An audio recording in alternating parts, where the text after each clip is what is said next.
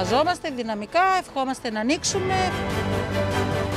Χάρη να μας πούνε να βάζουμε κόσμο μέσα και όχι πάλι έξω στο δρόμο.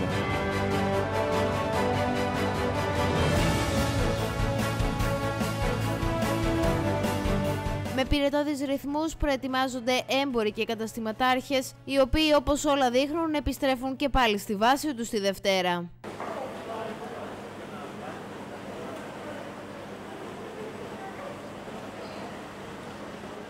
Το λιανεμπόριο προετοιμάζεται για να λειτουργήσει με την γνωστή μέθοδο Click Away, ενώ για πρώτη φορά θα εφαρμοστεί και το Click in Shop.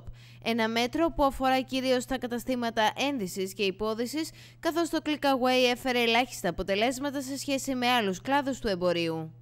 Εμπορικά καταστήματα όπως ε, καταστήματα με υπόδηση, ένδυση αλλά και τα κοσματοπολία θα ανοίξουν με τη μέθοδο του click in shop όπου οι καταναλωτές θα εξυπηρετούνται μέσα στο κατάστημα ενώ τα υπόλοιπα καταστήματα θα ανοίξουν με τη μέθοδο click away. Πρόκειται ουσιαστικά για ραντεβού του καταναλωτή εντός του καταστήματος προκειμένου να δοκιμάσει το προϊόν που επιθυμεί να αγοράσει. Η επίσκεψη στο κατάστημα θα κλείνεται τηλεφωνικά ή ηλεκτρονικά και μόνο όταν έχει κλειστεί η συγκεκριμένη ημερομηνία και η ώρα θα μπορεί να μπαίνει στο κατάστημα, στο οποίο θα τηρούνται όλα τα αυστηρά μέτρα που απαιτούνται και αφορούν κυρίως τις δοκιμές ρούχων. Ετοιμαζόμαστε δυναμικά, ευχόμαστε να ανοίξουμε, φτάνει τόσο. Click in shop, click away, ό,τι είναι πρέπει να ανοίξουμε. Και με εκτόσει, έτσι. Βεβαίως, ξεκινήσαν ήδη εκτόσει βάσει ημερομηνιών. Απλά τα μαγαζιά είναι ακόμα κλειστά. Να ανοίξουμε, να δουλέψουμε, γιατί το εμπόριο κλαίει. Να κρατήσει για μέρες αυτό, για μέρες, για μήνες. Ε, Δευτέρα, ναι, σήμερα περιμένουμε επίσημα 6 ώρα το απόγευμα να, να ακούσουμε αυτή την εντολή, να ανοίξουν τα καταστήματα. Ε, μακάρι να μας πούνε να βάζουμε κόσμο μέσα και όχι πάλι έξω στο δρόμο. Ε, ήταν πάρα πολύ δύσκολο τα Χριστούγεννα που, που δουλέψαμε έτσι. Οι πελάτες μας μας κάνανε παράπονα, δεν μπορούσαν να δοκιμάσουν τίποτα. Ε, και αυτό δημιούργησε μεγάλο πρόβλημα και σε εμάς και στον κόσμο. Ε, ε ελπίζουμε να μας πούν δηλαδή Δευτέρα να, να, τουλάχιστον να μπαίνει ένας-ένας μέσα, να δοκιμάζουν ό,τι θέλει ο, ο καθένας να το παίρνει για να φεύγει. Μιλώντας σε γνωστό τηλεοπτικό σταθμό, ο Υπουργός Ανάπτυξης Άδωνης Γεωργιάδης ξεδίπλωσε το σχέδιο σύμφωνα με τις προθέσεις της κυβέρνησης για το άνοιγμα των καταστημάτων. Όπως εξήγησε, η κεντρική ιδέα είναι να ανοίξουν τα καταστήματα που είτε είναι εποχικά, είτε κάνουν το μεγαλύτερο μέρος του τζίρου τους στην περίοδο των εκτόσεων. Για τα βιβλιοπολία, που ήταν από τα καταστήματα που έμειναν ανοιχτά κατά την εορταστική περίοδο, ο ίδιος είπε πως προσωπική του πρόθεση είναι να ανοίξουν.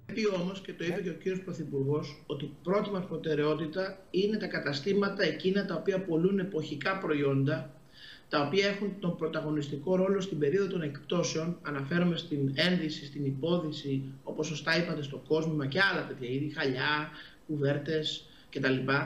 Τα υφάσματα, τα οποία είναι είδη, τα οποία κύριε Παδάκη, αν δεν πουληθούν τώρα, που είναι η μόδα του, τέρμα. Δηλαδή δεν έχουν αυτή η ελπίδα να πουλήσουν του χρόνου έχουν κόψει επιταγές, έχουν πάρει το εμπόρευμα, Μάλιστα. έχουν στοκάρει άνθρωποι.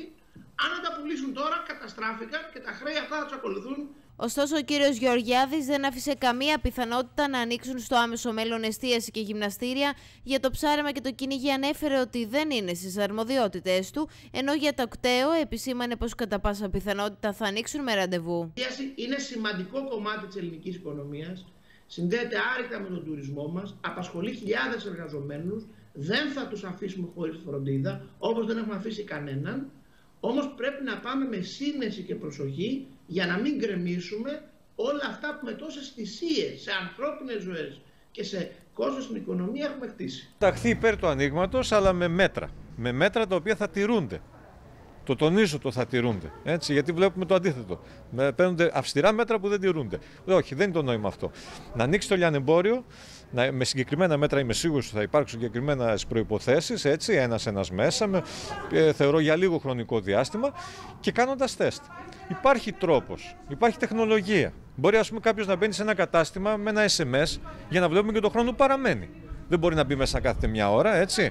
Όλα αυτά μπορούν να λειτουργήσουν εφόσον τηρηθούν και να μην έχουμε ε, αύξηση των κρουσμάτων, δηλαδή να, να κρατηθούν εκεί που πρέπει. Νομίζω ότι μπορεί να δουλέψει. Πόσο πίσω έχει μείνει το εμπόριο και οι αποθήκες είναι γεμάτες με ρούχα όπως δηλώνουν και οι συναδελφοί σας; Είναι όλες οι αποθήκες γεμάτες με στόκ. Πρέπει κάποια στιγμή όλα αυτά να πουληθούν. Ο κόσμος περιμένει να ψωνίσει και φτάνει όλο αυτό. Θα προτιμούσατε να μπαίνουν μέσα οι καταναλωτές και να βλέπουν το ρούχο. Π- Πώς το έχετε εσείς στο μυαλό σας, γιατί είστε μέσα στο πρόβλημα; Είναι πολύ πιο εύκολο το να μπει ο πελάτης μέσα, να επιλέξει αυτό που θέλει, να δει τι του αρέσει, τι όχι, ενδεχομένως να δοκιμάσει για να αποφασίσει. Τώρα στην πόρτα και σε αυτά, αλλά αν και πάλι δεν γίνεται, έστω και στην πόρτα πρέπει να ανοίξουμε κάποια στιγμή. Θέλω να, να, να, να βγάλουμε όλες, ε, όλο, όλη την περίοδο των εκπτώσεων, να μπορέσουμε και εμείς να ρευτοποιήσουμε το εμπόρευμό μας για να πάμε στην ε, νέα κολεξιόν ε, που χρειαζόμαστε και άμεσα χρήματα.